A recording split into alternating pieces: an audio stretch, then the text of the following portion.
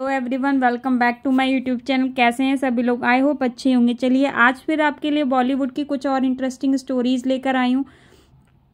I hope आपको पसंद आए। तेरे को मारना होता तो जब्बर सिंह का निशाना नहीं चुकता जब डायलॉग ने मचाई सनसनी, ज़ुबान पर चढ़ गया था विलेन का नाम। जिस एक्टर की हम बात कर रहे हैं, उन्होंने अमिताभ बच्चन और धर्मेंद्र समेत तमाम सितारों के साथ स्क्रीन स्पेस शेयर किया है। लेकिन क्या आप जानते हैं कि लीड भूमिका में ना होने के बाद भी उन्होंने बराबर की टक्कर दी है?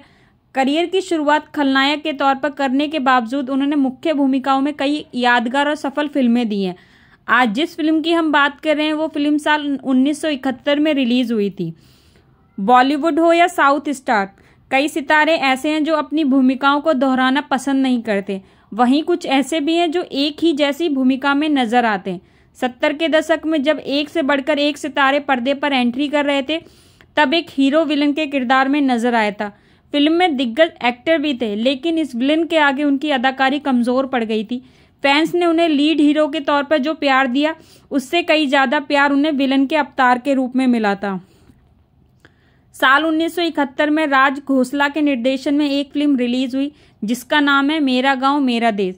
फ़िल्म में धर्मेंद्र के साथ एक और दिग्गज एक्टर नज़र आए थे, जिन्होंने अपने करियर में कई ब्लॉकबस्टर फ़िल्में दी हैं। फ़िल्म में डायलॉग्स इतने फ़ेमस हुए थे कि आज भी लोग उन्हें याद करते हैं। ये एक्टर कोई और नहीं, बल्कि विनोद खन्ना है। फ़िल्म मेरा गाँव, मेरा देश में, जहाँ धर्मेंद्र फ़िल्म के लीड हीरो के रूप में नज़र आए थे, विनोद खन्ना के डाकू के किरदार में नज़र आए थे। उन्होंने अपने किरदार से धूम मचा दी थी और वो एक दौर आया जब कई सारी फ़िल्में डाकुओं के आसपास लिखी जाने लगी। विनोद खन्ना की फ़िल्म में डायलॉग तो काफ़ी पॉपुलर हुए थे। जब्बर सिंह ने दो ही बातें सीखी, एक मौके का फ़ायदा उठाना और दूसरा दुश्मनों का नाश करना। तेरों को मारना होता तो जब्बर सिंह का निशाना नहीं चुकता। ऐसे कई फ़िल्म के सबसे चर्चित डायलॉग थे। मेरा गाँव, मेरा देश की कहानी एक शातिर मगर बहादुर चोर अजीत के इर्द गिर्द घूमती है। जिसे पूर्व फौजी हवलदार मेजर जसवंत सिंह एक चोरी के आरोप में गिरफ़्तार करवा देता है। जेल से छूटने पर जेलर की सलाह मानते हुए अज़ीज़ उसी फौजी के पास काम मांगने उसके गाँव जाते हैं।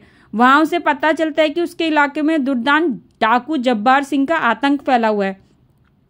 अजीत जब्बार को खत्म करने का बीड़ा उठाता है, जिसमें जसवंत सिंह उसकी मदद करता है और ट्रेंड करता है उसको।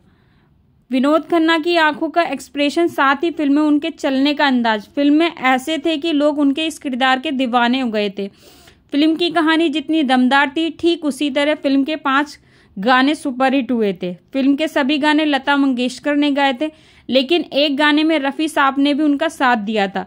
इस फ़िल्म की एक और खास बात ये थी कि फ़िल्म में हीरोइन दो ही गानों में नज़र आई थी। ये उस दौर की पहली फ़िल्म थी जिसमें हीरो हीरोइन से ज़्यादा विलन के किरदार को नोटिस किया गया था। फ़िल्म में विलन हीरो हीरोइन को मात देकर सारी लाइमलाइट लूट ले गया था। इस फ़िल्म से विनोद खन्ना का करियर चमक उठा था। मेरा गाँव, मेरा देश का संगीत लक्ष्मीकांत प्यारेलाल ने दिया था और गीत आनंद बख्शी ने लिखे थे। फ़िल्म का संगीत हिट रहा था और आज भी इसके गीत लोकप्रिय हैं।